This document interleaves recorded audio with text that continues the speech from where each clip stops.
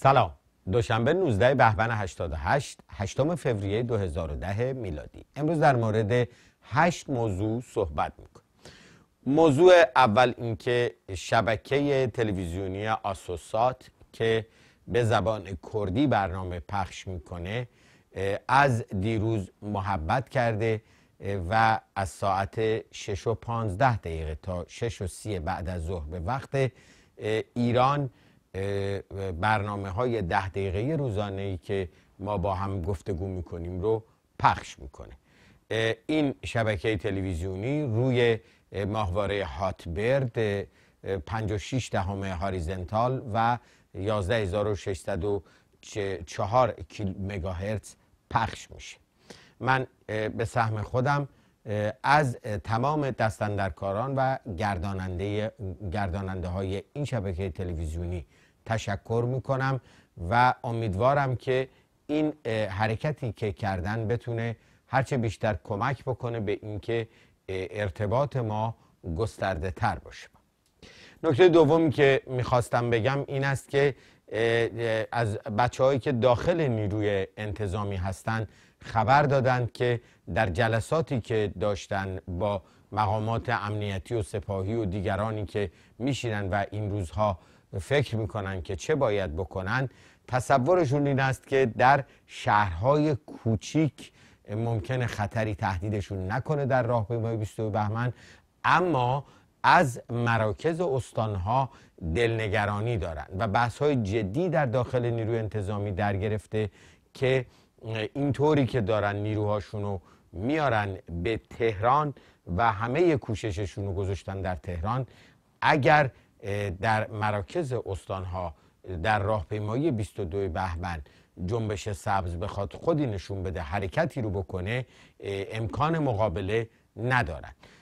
به هر صورت اگر در این زمینه اطلاعات دیگه هم باشه تا 22 بهمن خدمتتون عرض خواهم کرد. ولی اون چه که مهمه این است که کاملا نشون میده که اگر تمام کشور تمام شهرها بچه ها بیان توی خیابون و در مسیرهایی که خود حکومت هم گفته حرکت بکنن شعار بدن و با این کمبود نیرویی که اینها دارن و همه امکاناتشون بسیج کردن بیارن به تهران برای اون نمایشی که می‌خوان نشون بدن فکر می‌کنم که می‌شود درس بزرگی به کودتاچی ها داد نکته سوم این که حزب اعتماد ملی حزب آقای کروبی اطلاعیه مهمی رو صادر کرده هفت خواسته رو توش مطرح کرده از قبیل آزادی زندانیان سیاسی آزادی مطبوعات آزادی انتخابات. ولی نکته ای که کاملا جدید هست این است که این حزب خواهان برگزاری رفراندوم شده روی اساسی ترین خواستهای ملت و بنابراین این خواست مردم که رفراندوم رو شعار اصلی مردم می‌دونند حزب اعتماد ملی سهه گذاشته و در واقع دعوت به اون کرده نکته چهارمی که می‌خواستم بگم مصاحبه آقای مصلحی وزیر اطلاعات که ایشون حرفای خنده آوری زده از قبیل اینکه برای جنبش سبز یک کسایی از 20 سال پیش برنامه ریزی کرده بودند و مسائلی از این قبیل اما یک نکته جالب مصاحبه ایشون داره و اون این است که اعتراف کرده که بخشی از نیروهای امنیتی و نظامی کشور در سمت جنبش سبز هستند و در روز آشورا یا تظاهرات دیگه با جنبش سبز همکاری کردند و در سمت مردم قرار گرفتن. همینطور باید گفت که وزارت اطلاعات با دستگیری هفت نفر روزنامه نگار دیگه ایران رو که در نه در خاور میانه بلکه در سطح دنیا بیشترین روزنامه نگار زندانی داشت باز هم به آمار روزنامه نگاران زندانی اضافه کرده و جالبه که ایران نه فقط سرانه نسبت به جمعیت 74 میلیونیش بیشترین روزنامه نگار زندانی رو داره بلکه حتی مطلق هم از کشور چین که بزرگترین زندان روزنامه نگارا بود جلو افتاده و با این برخوردهای امنیتی یه وزارت اطلاعات یا دستگاه های دیگه امنیتی سپاه و غیره ایران به صورت مطلق هم بزرگترین زندان روزنامه نگاران در سراسر دنیا شد نکته پنجمی که می‌خواستم بگم این است که سردار همدانی فرمانده سپاه تهران گفته که خواسته از راهپیمایان که همدیگر را تحمل کنند. در واقع میشه گفت که دستندرکاران سپاه که این نمایش رو تدارک کردن همه نیروهاشون رو با صرف میلیاردها تومن پول و انرژی کشور می‌خوان بیارن در تهران یک نمایش ارائه بکنن. پیشا پیش وحشتشون گرفته از اینکه اگر چند میلیون مردم پا تو خیابون بگذارن اونها مثل یک قطره در میان مردم بخار خواهند شد. و به همین دلیل هم امیدوارند که مردم هیچی نگن ساکت باشن هیچ شعاری ندن هیچ کاری نکنن بلکه بتونن اونها فیلم بگیرن و پای خودشون بگذارن. به هر صورت جنبش سبز در مسیرهایی که امن امانه و مسیرهای حکومتی است. یا اگر با مشکلی مواجه شد در مسیرهای جایگزینی که روز گذشته راجبش صحبت کردیم حرکت میلیونی خودش رو که انجام بده به نظر من شعارهای اساسی رو که داشته تا کنون مطرح کرده ضد دیکتاتوری رفتن دولت کودتا میر حسین پشتیبانی از مهندس موسوی و آقای کروبی و رفراندوم که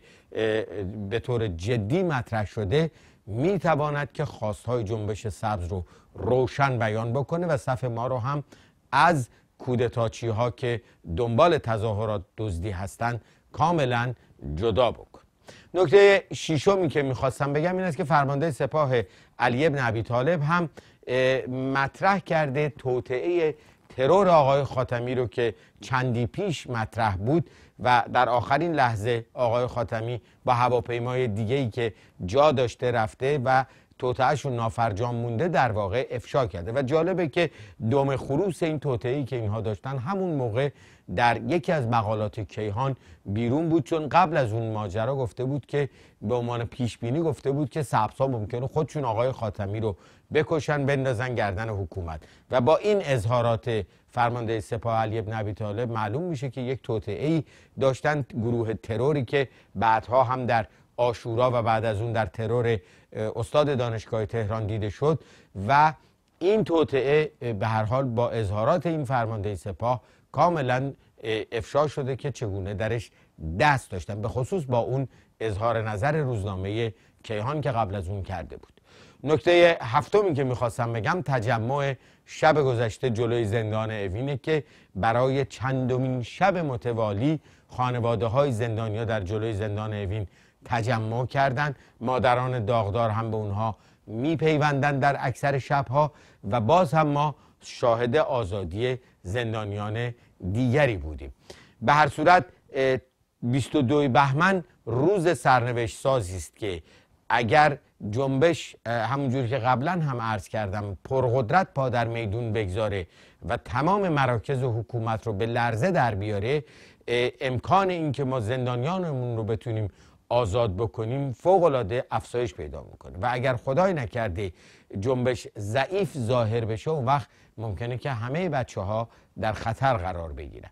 به هر صورت زندانیان سیاسی خواست آزادیشون یکی از اون خواستهای محوری است که در راهپیمایی 22 بهمن هم باید روی اون پافشاری کرد. و نکته آخری تجمع اعتراضی کارکنان صنایع عراق که برای چندمین بار